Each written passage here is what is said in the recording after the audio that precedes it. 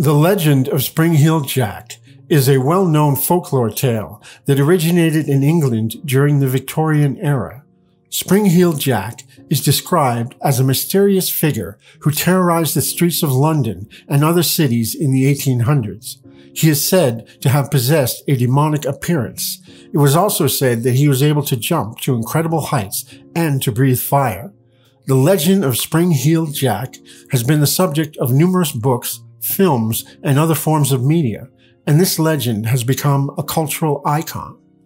According to Wikipedia, Spring-Heeled Jack was described by people who claim to have seen him as having a terrifying and frightful and diabolical appearance, with clawed hands and eyes that resembled red balls of fire